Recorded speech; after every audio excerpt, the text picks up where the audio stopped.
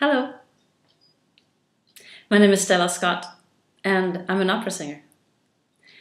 I have an idea. I want to tell stories about LGBT people, and I want to use opera arias. Opera arias not usually sung by women. Some years ago, I started to sing male repertory just because there was so much out there that was supposedly forbidden for me. And then I met this man from Turkey, and I'm telling his story below. And the story he told me was exactly the story of Cavaradossi in Tosca. I always wanted to sing E luceva le stelle, which is the name of the aria for you who is not into opera. But since I was a woman, I was not allowed to.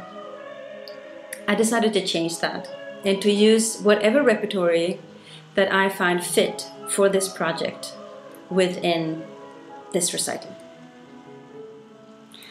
All through the years when I have been singing, I have always heard, Do you have a record that I can buy somewhere? And my answer has always been, No, I don't. And this time I want it to be different.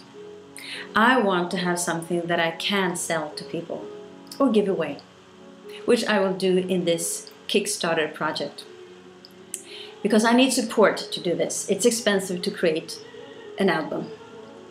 I hope that you will help me, that you find what I have to tell you below interesting enough, and uh, put your name, no, put just your email in the box above so I can send you information. That will not cost you one penny. I can just send you information and you can take into consideration if this is something you would like to support. Because I do think there are so many ways to represent the LGBT community. And when it comes to opera, it's usually not used to tell our stories and uh, be real about what's going on.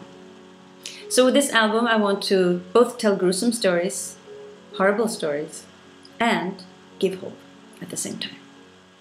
So I hope to see you soon and thank you for your help. Bye for now.